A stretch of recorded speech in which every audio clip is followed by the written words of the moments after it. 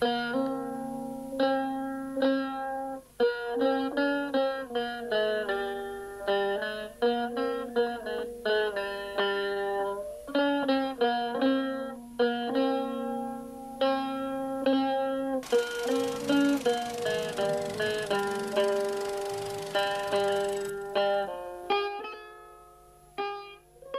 Uluçay 1954 yılında Kütahya'da dünyaya geldi.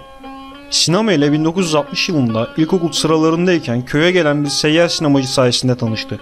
Daha 12 yaşındayken arkadaşı İsmail ile sinema makinesi yapmak için yola koyuldu.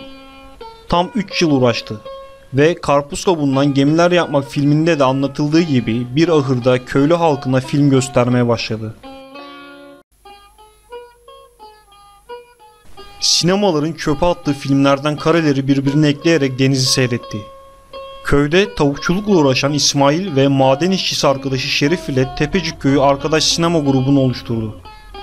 Uluçay 1992'de ilk filmi Optik Düşleri arkadaşlarıyla Almanya'da yaşayan bir gurbetçiden aldıkları VHS kamerayla çekti. İlk kez 1994 yılında 6. Ankara Uluslararası Film Festivali'ne katılarak Optik Düşler ve Koltuk Değneklerinden Kanat Yapmak isimli filmleriyle tanındı.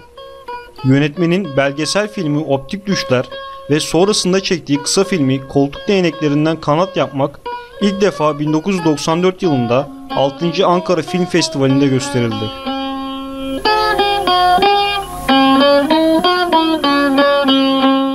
Sinemaya hayatını adayan Uluçay yıllarca geçim derdiyle uğraştı.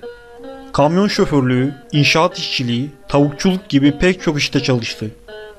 Çocukluğundan esinlendiği ilk uzun metrajlı filmi Karpuz Kabuğundan Gemiler Yapmak filmini çekerken geçimini sağlamak için yem fabrikasında hamallık da yapan Uluçay bu filmiyle Türkiye'de ve yurt dışında pek çok ödül aldı. Karpuz Kabuğundan Gemiler Yapmak filminin galasından sonra sizi sinema yapmaya iten şey neydi sorusuna Metin Erksan'ın Kuyu filmini izledikten sonra tamam dedim.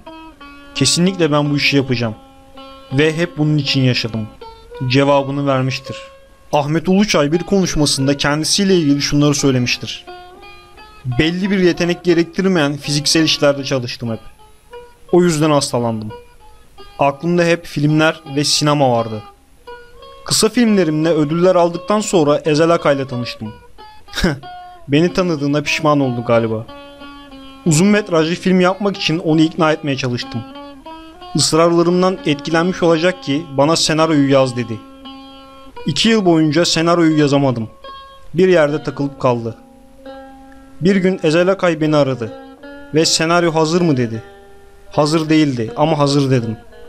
İki gün içerisinde senaryoyu bitirdim. Karpuz kabuğundan gemiler yapmak filminden daha iyi bir film yapamamak düşüncesi beni endişelendiriyordu. Eskiden sanatçılar olmadan dünya dönmez sanılırmış. Düşünüyorum da bir ressam resim yapmasa, ben film çekmesem dünyada bir şeyler değişmez. Ahmet Uluçay'ın oyuncuları gerçek kişilerdir.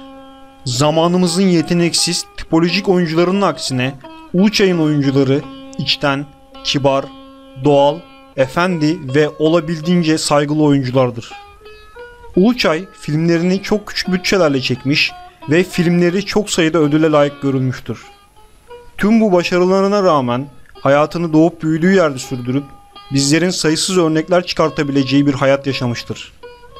Tüm zorluklara hatta imkansızlıklara rağmen büyük işler başarmış, ismini Türk sinema literatürüne kazımış İkinci uzun metrajlı filmini hazırladığı sıralarda beynindeki tümör ve zatürre hastalığı nedeniyle tedavi gördüğü Çapa Tıp Fakültesi Hastanesi'nde 30 Kasım 2009 yılında zamansız olarak aramızdan ayrılarak sevdiklerine ve sinemaya veda etmiştir.